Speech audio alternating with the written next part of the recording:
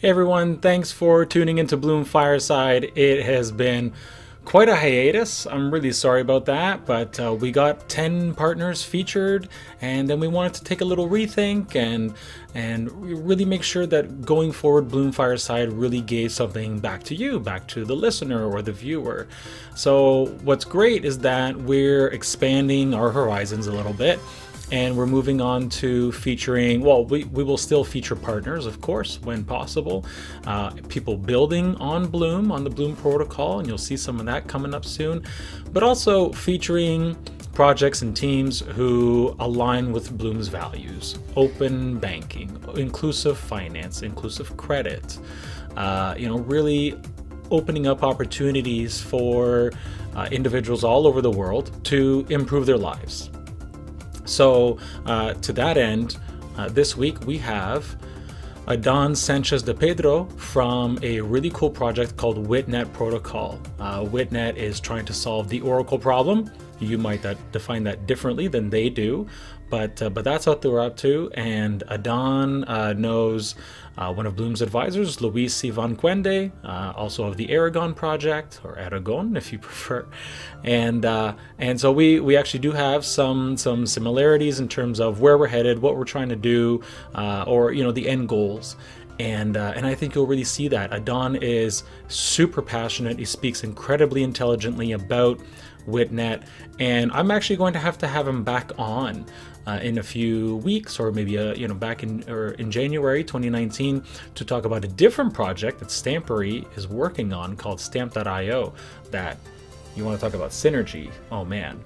Synergy coming out the wazoo uh, with Bloom. So uh, in the meantime thanks for tuning in. Thanks for listening or watching and I really hope you enjoy the next 40 minutes or so with Adan Sanchez de Pedro of WITNET Protocol.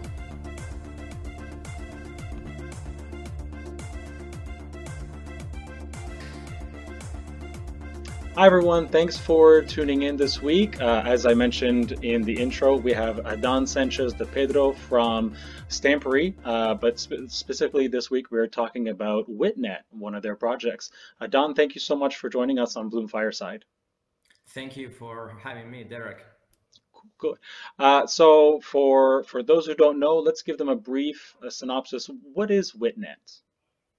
So WITNET is a decentralized Oracle network. Uh, what we are trying with to solve with WITNET is the Oracle problem. How how can you have access to information from outside the blockchain from your smart contracts? So let let's say you have a smart contract, you need to verify something in the real world or just to consume some information from any data provider, any data source, any online API. You mm-hmm. cannot do that at the moment from, uh, let's say, an Ethereum smart contract without trusting, without having to trust a, a, a particular uh, entity bringing that data into your smart contract or, or without you being a single point of failure for that contract. So if the point of a smart contract is, is having a program that no one can tamper with and that no one can censor, it, it's totally pointless to have that kind of a single point of failure. So what we're building is a network that allows smart contract developers to send uh, data requests to, to this network and have data retrieved, aggregated, and delivered back from the internet, from APIs, from any kind of online data source to their smart contracts without having to rely in any centralized uh, entity that could try to tamper with the with the data. Yeah, I, I totally get that. You know, a big part of I think what we're all doing here is, is creating trustless transactions. Uh, obviously, decentralization is a big part of uh, of any blockchain. Well, most blockchains. Uh, some of them arguably less so. But let's not get get uh, sidetracked. Uh, so yeah, that's that that makes a lot of sense. And and I did have a, a you know brief conversation with. Um, think your developer relations uh, uh, lead, James, uh, about this. So that sounds really neat. Um, let's try and get a little bit of background here on, on, the the co-founders and some of the team members or you know key team members. Uh, there's yourself. Can you give us a little bit of background on what you've been up to before founding Stampery and and Witnet? Well. If I go like from from from from the very beginning, I actually was not interested into computers when I was a kid. I was more into into animals and dinosaurs and this sort of of stuff. But then uh, at some point, I discovered that there was some very nice thing that was called Linux that you could install that in your computer and that it, it came with free software. What what's that free software? and that free not as in free beer, but free as in freedom, so that you can modify that software. You can have uh, like the recipes of how it works, and you can uh, change it and you can make it work the, the way you want and do whatever you want with it and you are free to share it with others and and I get, I, I really got obsessed with uh, free software, with the open source community, and and I started to to play with it. I discovered that my thing was totally uh, programming. And actually, um, what I started programming was uh, video games. I started oh, making nice. Uh, indie games for for Nintendo DS and for the Nintendo Wii. Uh, but then I I, I, I developed some um, political uh, views and yeah so i got closer closer to to uh, hacktivist movement and started to to research and to develop in the area of uh, communication protocols messaging protocols and all kind of peer-to-peer protocols so i was quite uh, quite involved in XMPP, which was a very popular uh, messaging protocol by the time before WhatsApp and, and Messenger and everything. Yeah. And yeah, and I worked in, yeah, I created uh, one of the projects that I'm more proud, proud about is Loqui Instant Messenger, which was uh, the most uh, used application in Firefox OS, uh, which was a, a, a operating system for uh, for smartphones that the Mozilla Foundation created to uh, to bring smartphones to the to developing countries, yep. and it was quite a success. And then I created uh, something called WATools, which was like a kind of premium version of uh, Loqui, but for you for companies wanting to use uh, the WhatsApp protocol uh, for uh, doing some kind of marketing and engaging with their users and mm. More or less what they are trying to do with WhatsApp business. But this happened uh, four or five years ago. So at that time, Facebook wasn't really happy about me uh, releasing that software, and they actually sent me a cease and desist letter. Uh, oh wow! quite, quite a threatening one. So, yeah yeah, but by that time I had been playing with with some uh, Bitcoin stuff uh, because I, I, had a lot of friends who uh, in this hacktivist movements who had been in in the Bitcoin space from from uh, the early times, and and I, I felt that um, it was about time for me to move into into this technology because it, it, it really sounded really interesting to me. It really rang a bell on me since the first time I heard about it. And in 2015, uh, I joined Stampery as a developer, and then I, I became the CTO for Stampery. And in Stampery, what we made was uh, create a platform for people to uh, leverage public blockchains to create uh, proofs of existence, integrity, and ownership of any kind of data set. So this is like if you uh, when you wanted to prove the existence uh, or the integrity of any uh, paperwork in the past, you or, or even uh, uh, currently you need a notary public. uh, someone to Right. certify the, that document. So acknowledging that nowadays information and data is moved in digital formats and that there are a lot of businesses and business processes in which the integrity of that data is paramount like, like a lot of industries uh, more most importantly in critical systems and in iot in a lot of different industries.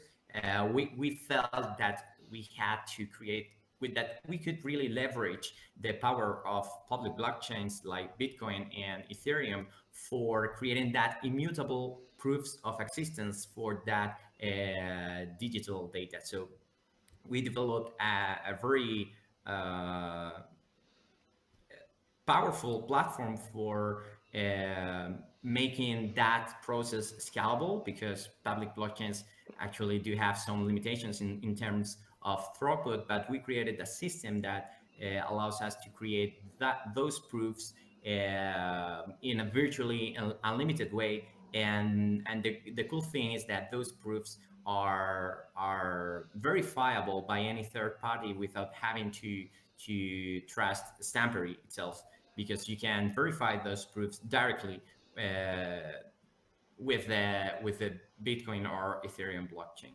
Right. So, So- in in Stampery, my my my partner was uh, my partners were uh, Daniele Levy, who is a serial entrepreneur, really really early Bitcoin adopter. Uh, he ran a mining operation uh, in 2012 here in, in Spain, uh, the big, biggest one uh, in Spain, and also um, Luis Ivan Cuende, who is um, even younger than me and have been creating companies since he Yeah. was 16. He also created um? Linux distribution, and he's now the the project leader at Aragon Yes. which was Yeah. another another project that uh, forked off Stampery just Hmm. like Witnet itself, which is what we are working on right now. Yeah, and, and for those who don't know, or you might be familiar, Luis is actually uh, an advisor to Bloom, so we have a little bit of a of a connection that way uh, already. Pardon me. And yeah, so Stamp.io does really look really cool. We're going to do a whole other conversation about Stamp.io because uh, I, I think it's really neat, and uh, and I think it could, you know, benefit uh, both ways for, from the Bloom ecosystem. But we'll talk about that another day. Um, so that's really really neat. Clearly, you have some pedigree there a quick i don't want to start a flame for flame war but i do want to know what's your favorite linux distribution Uh, right now, Manjaro. which It's a- one it's a- Manjaro. It's like Okay. it's an Arch uh, derivative, oh, okay but it has very nice hardware support Mm. and everything works uh, off the box. So it's it's really really nice. cool I, okay I, i haven't thought, I, I thought I, I would use Ubuntu forever, but because that was the, the first one I, I used, but but then when I discovered Manjaro, I, I yeah, I, I really loved it. that's fine mandrake was my favorite for a long time which th- i think Oh. then became mandriva and and but i've gone back and forth between fedora centos for servers uh, you know ubuntu for servers as well so i i get that you know the preferences change linux mint is great on a desktop or laptop but you know hardware is always well often uh, an issue So uh, the website for for Witnet describes uh, Witnet as quote smart contracts with real power. Can you describe uh, beyond what you've said already? Can you describe a little bit of what that means and what that means to the rest of the team? Yeah, the, the point is that uh, smart contracts in their current form are nothing more than toys, or they are limited only to support the ICO use case and probably not much more without having a connection with with everything that's outside with other web 2.0 not 3.0 uh, services uh, with any kind of data sources and being able to make any effect on, on the real world. So, Mhm. uh, where, what we say with uh, this claim of uh, giving smart contracts real power uh, means exactly that. We are allowing uh, smart contract developers to uh, make their their contracts affect the real world and also to, to react to the real world. Okay. Um, so what what sort of impact do you think smart contracts with real power can actually have on on an individual or business once WITNet is really fully deployed? Or in other words, you know, how does WITNet solving the Oracle problem, as you put it, and, and other people use that term as well, how does that open up opportunities for individuals and for businesses, especially those in developing countries mm-hmm. where the the existing or or traditional uh, infrastructure doesn't even exist at all? Well, first thing is that we think that WITNet is a really a building block for all the de- all the decentralized infrastructure of the years to come, and we think it's a very important one because it, it could happen to this space that uh, if we are not able to make smart contracts have a real impact on society, on business, on people in the next two or three years, these smart contracts could really, it, it could really happen that they are not a thing ever. Mm-hmm, if mm-hmm. there are other technologies that capture the attention of the developers, of the media, of the businesses, and, and so on. So we feel that kind of pressure that we have to come with uh, with the right solution to, to this Oracle problem and and we and come with that in a timely manner so so we are really that, that's why we are why we are really excited of of being in this uh, particular place in time uh, solving this problem because it's it's the logic evolution for us for our mission uh, which always was uh, to replace trust with uh, mathematical proof of with verifiable uh, truth and that's why we built Stampery uh, at, at the, in the first place. And that's why we uh, decided to go one step beyond and take this bold uh, decision of creating something like uh, WITNet because we really believe it can have a big a very big impact on on on these um, technologies that will empower people and that will uh, enable uh, people to transact and businesses to to make trade without uh, any kind of censorship or without uh, tampering and yeah we're, we're really excited to be a part of that um, I'm guessing as well. You going back earlier about mentioning, you know, notary publics being the that person you know or that organization who often you know literally physically stamps a piece of paper uh, to say yes this is real i witnessed uh, Don and Derek signing this contract or something like, or you know, agreeing to this or what have you.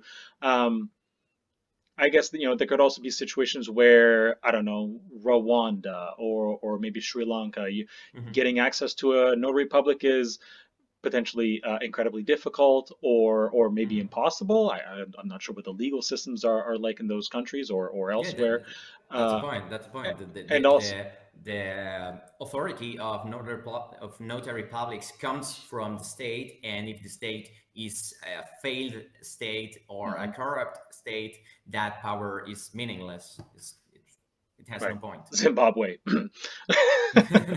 uh, exactly. but also, you know, if you're, I guess, you know, I'm thinking, uh, you know, really low on the totem pole socioeconomically, uh, you know, you're you're potentially the benefit of uh, or the beneficiary of a gift from Oxfam, for instance, right? Somebody bought you a goat or a couple of goats. Great. Mm-hmm. I'm a poor farmer. I'm going to take these goats. I'm going to do this thing. You know, if maybe one day you you have the money to actually go ahead locally and and obtain some land or something like that. Um, you know you've saved up all this money and maybe you have enough money now to to to obtain the land but you don't have all the money to go through all the legal hoops uh, which you know, I, heck, I live in Canada and I see people run into that all the time. You're like, oh, I'm ready to buy a house, but oh, I need another three thousand, five thousand dollars to like do all these legal stuff instead. You know, potentially taking the notary public out, or or you know that mechanism, some sort of you know face-to-face personal mechanism to to of, of trust reduces fees and therefore also you know reduces the the the um, barrier to entry, right? Mm-hmm. Yeah, I've, of course, there are some problems that technology in itself will not solve. Sure. Uh, it it would be really um, to it's it's just it's stupid for us technologists to think that we can solve every problem with technology but i'm pretty sure that this kind of technology it's it's it's setting the infrastructure for people to create tools that will enable other people to to to be capable of doing things like that and Sure. having less reliance on legal systems and on systems that uh, have been that people are trying to make work and that they are so corrupt or they are so uh, failed that there's nothing more than that you can do and then you can have some some other option Sure. Um, not, I'm not looking for you to respond to this. I'm just, I just thought, you know, it, it's not even maybe a matter of cost. It could just be a matter of, of physical access. You know, I have plenty, we have plenty of places in Canada that are incredibly remote, and you know, to to force somebody to have to travel four hours, eight hours, maybe a whole day just to go, you know, get something stamped by a notary public is is can be quite costly and and you know, uh, unnecessarily uh, hindering uh, progress potentially. Anyway, um, you so you're building a protocol. It's the WITNET protocol. Uh, the website describes it as a as an Ethereum sidechain. So you mentioned scalability earlier. Does the WITNET protocol operating as a sidechain or, or what is effectively a sidechain does that help solve some of the existing scalability issues with with the Ethereum blockchain? well i don't think there's a silver bullet for for the scalability issues that one can see on uh, in ethereum. In one hand, I do think I do think that Witnet can help offload some uh yeah some some of the simplest contracts from Ethereum because Witnet itself without connecting to Ethereum that it it has a connection with Ethereum but Witnet itself has its own blockchain and you can create very dummy smart contracts. They I, I prefer to call them uh, conditional payments. Like if this happen then alice get the money. If the if it doesn't happen or if it happens in some other way bob gets the money. And we i i do think that that there there's a demand for that kind of conditional payments and some other a little more complex um, cons- constructs like derivatives and things like that that you can actually build with Witnet without something more sophisticated and super feature complete like Mhm. uh, the Ethereum smart contracts and the Ethereum virtual machine. Uh, so yeah, I th- I do think that Witnet will help afloat some work, but that's not something radical. On the other side, the the the features that Witnet is going to to enable on with on, on Ethereum for for Ethereum smart contracts, I, I can perfectly see that it will make demand for Ethereum smart contracts increase for sure. Okay. And and and this is perfectly okay because it it will make um, it, it will help visibilize what's the kind of uh, load that that the Ethereum developers uh, and the Ethereum community as a whole need to target as a yeah for for for something for something production ready or for something that we can scale uh, in the next years. And this is this is something very very nice from our point of view because if if we do if we do if we do good if ethereum will do good if ethereum does good uh, we will do. And, and th- there's there's a very very uh, win-win situation with this. We we don't try to compete with ethereum at all because uh, we're not solving the same problem. We are Right. trying to enhance ethereum by being complementary by working side by side. And i think Ethereum solves uh, what they wanted to solve in a very elegant way, in, in a way in which that it's hard to me to imagine uh, some some other way to do that. But right. it, of course, the way Ethereum is designed, you need to pay for the work of uh, of a lot of nodes that do need to run a lot, uh, like every every contract at the same time. Right. So probably people are paying for much more security than th that they need, and that's why there are some. Uh, yeah, it, it's a little overkill for exchanging cat cards. so probably for Ethereum, solution will be some kind of sharding solution. Right. Probably uh, moving from proof of work to other consensus algorithm will help uh, with some challenges, although maybe that's impossible for maybe it's impossible moving from proof of work to proof of stake, for example, uh, because you will find some resistance from from the current miners.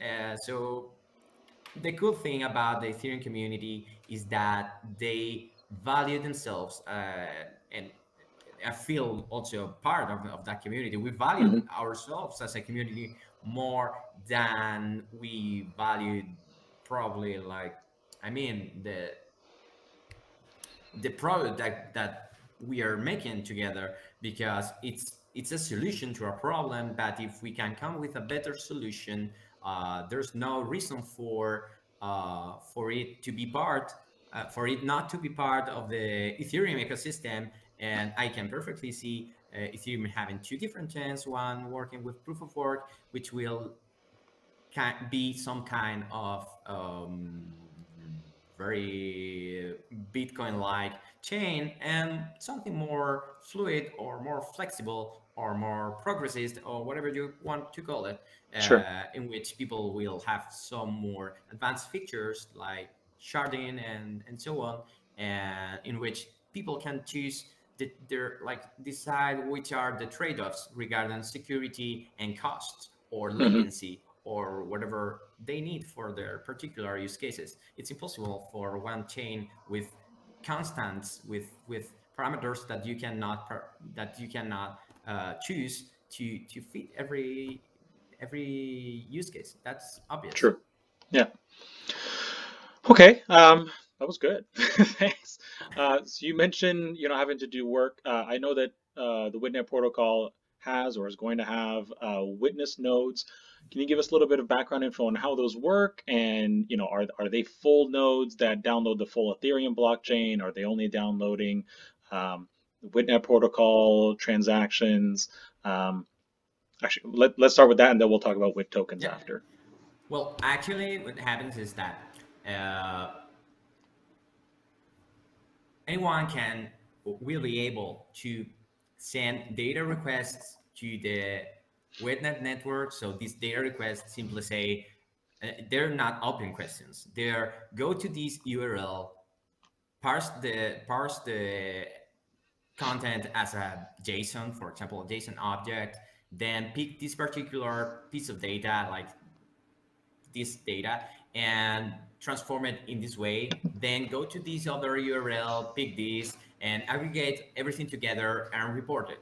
And right that that's a data request. So what what you send along this data request is you choose a replication factor. So how many nodes will run that uh, data retrieval for you, and also you attach um, a reward in form of WIT tokens uh, to that transaction, and that reward needs to be proportional to the replication factor that you chose. So how many uh, witnesses will be employed, and and next thing that will happen that will happen is that those uh, those witness nodes will be randomly selected from the from all the nodes in the witness network and they will be able to uh, retrieve that data they will report it.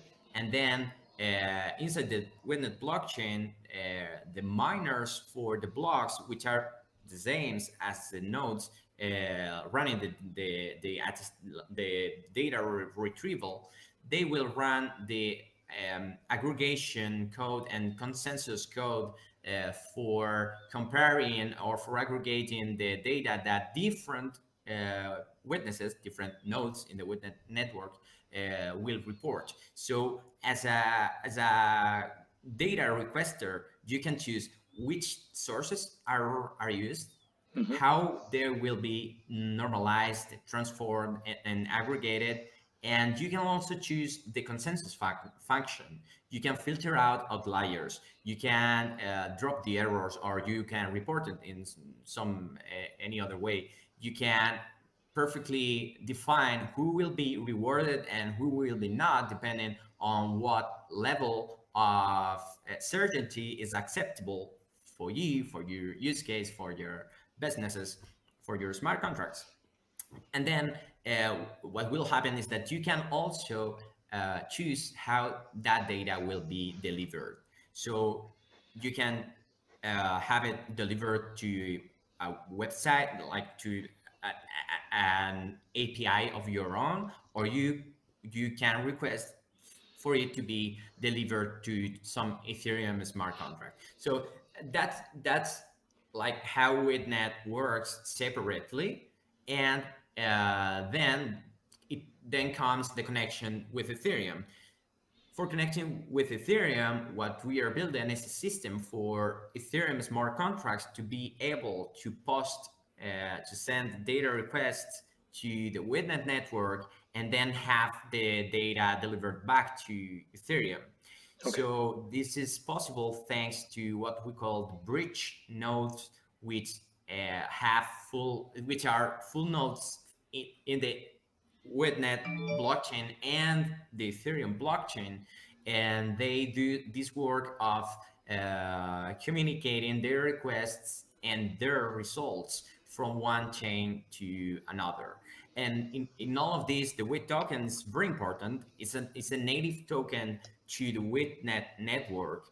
Mm -hmm. And it's, as I said, it's attached to the data requests and only if you as a if your node as a as a witness as a node in the Witnet network performs their performs the data requests it, it gets uh, assigned. If, if, if it performs them um, honestly it, and it doesn't um, tamper with the data and it reports it uh, matching the consensus, it you will get a reward. If you if you try to tamper with the data or if you fail to retrieve that data from uh, from the sources, uh, you right. will you will get nothing, and indeed you will be punished because it has a, rep a reputation system that keeps uh, that keeps the the different nodes engaged with the protocol because you lose reputation if you do not fulfill your assignments and keeps everyone uh, honest over time because it creates uh, incentives in the short, medium, and long term to, as I say, keep working and abiding by the protocol and doing uh, work for the protocol. Right. But then the Ethereum smart contract developers don't actually need the WIT token because uh, the, it's the bridge nodes that sit in between the two networks who own WIT and who own ETH, and they they receive uh, rewards from the uh, Ethereum smart contracts for posting uh, the data requests on Witnet using their WITs, and right. then they they they earn with rewards for sending uh, their results to the originating smart contracts in Ethereum using their ETH.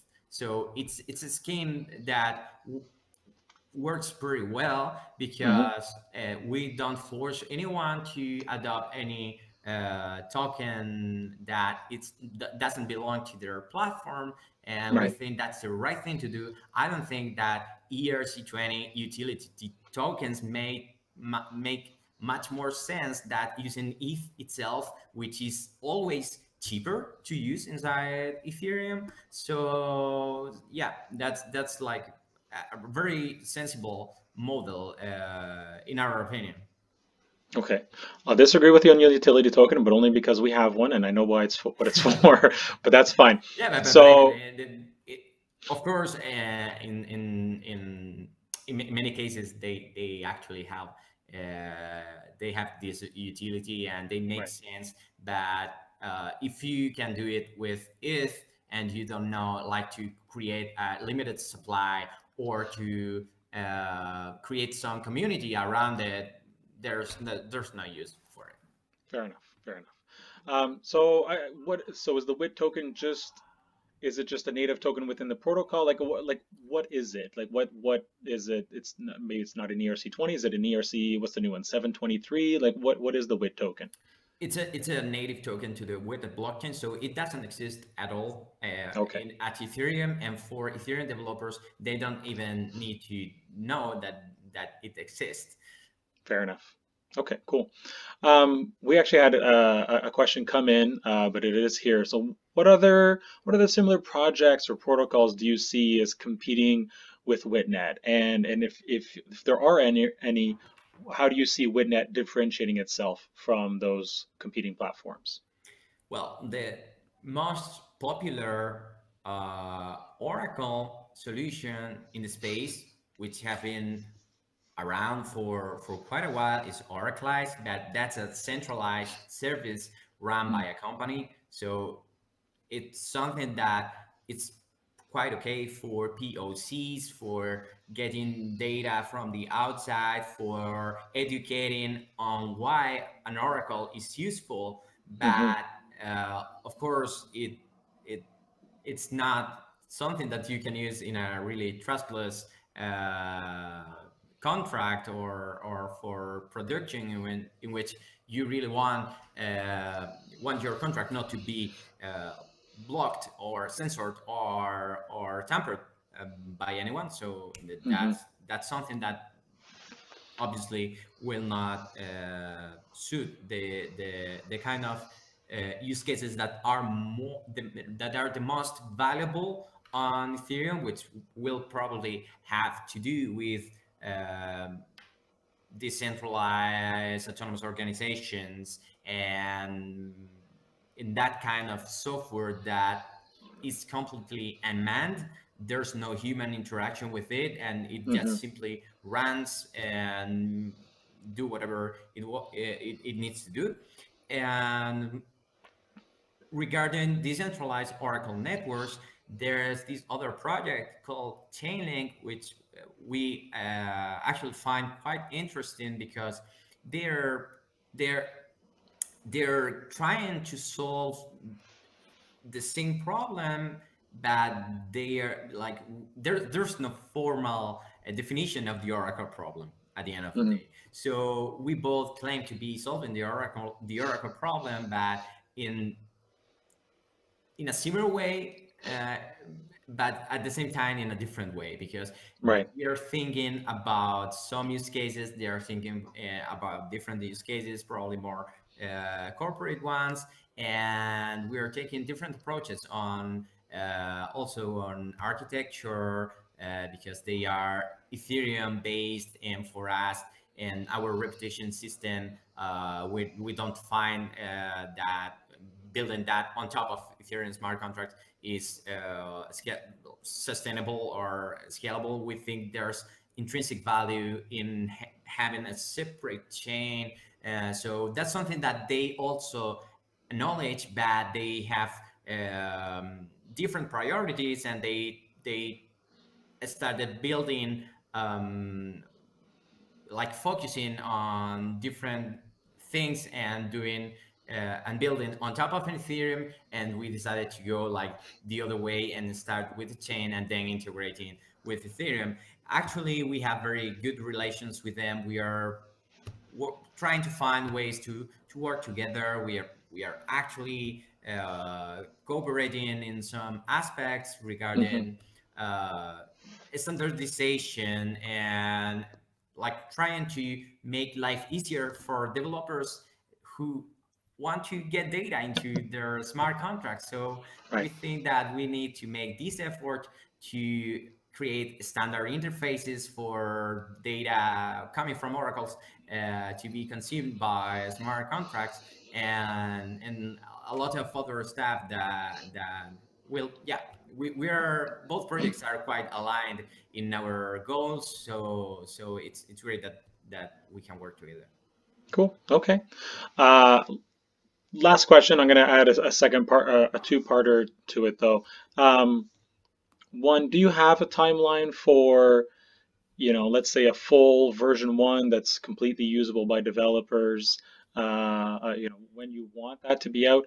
And and the second part is you know uh, oh wait that is the question. When are you hoping to have a full protocol you know rolled out that that's actually fully usable by Eddie on our team or Isaac or you know uh, anybody who's working who, who needs that data and, and needs it in production. Yeah. Okay. One thing is the, is the protocol that uh, is pretty much described in our white paper, which uh, which was published just one year ago. Last week we celebrated uh, we celebrated the anniversary with cake and everything. Congrats.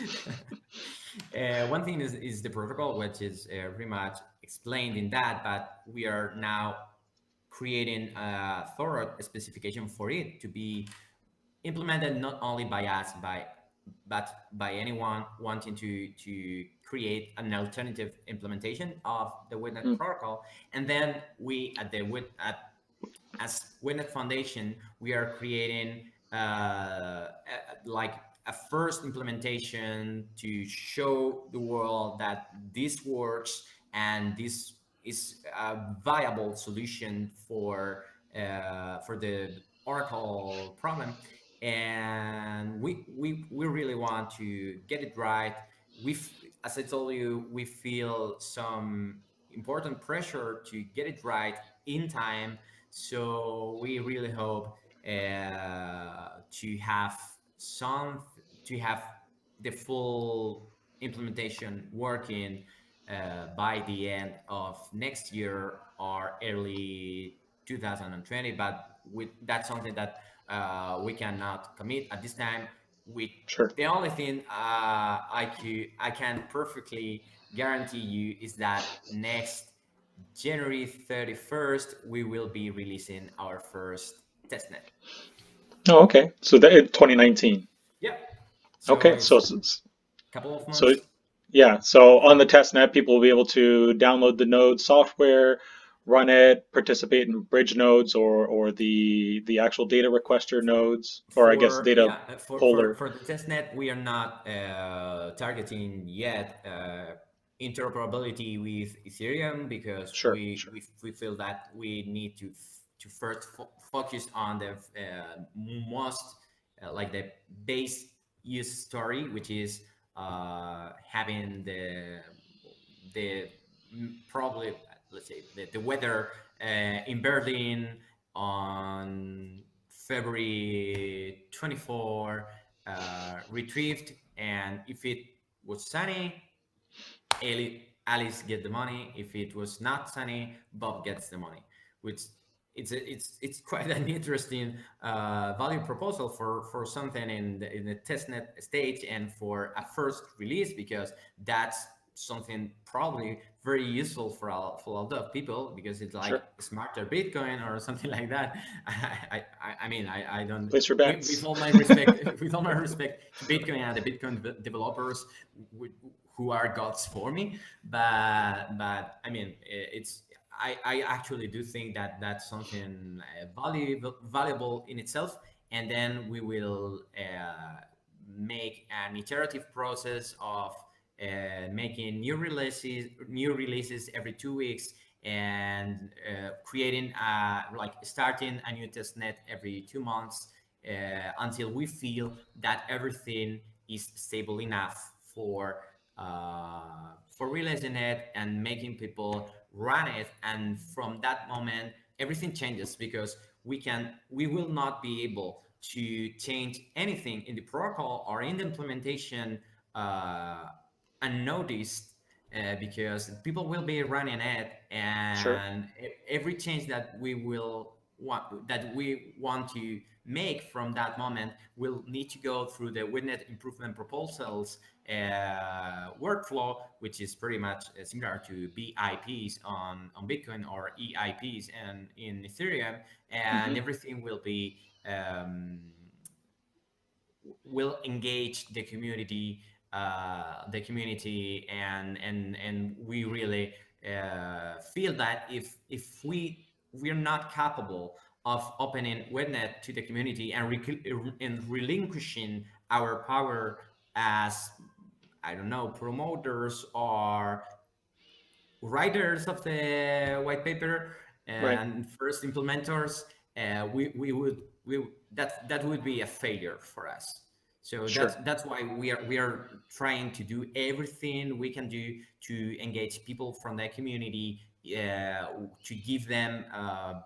as much power power as we have. Actually, we have some external contributors who don't who we don't even know their names and they have right access in our github repo because this is a community effort and we have the luck to we have the luck to to have secured enough funds for being working on that, but the Witnet Foundation does not have um, a business model. Our role is right. that just creating the first implementation of the protocol and fostering the community around it, and then just uh, relinquishing that relinquish that power and just making sure that that everything works and, and that's all. But in equal um, conditions with everyone else in the community in the community which is uh, slowly but steadily uh, growing day by day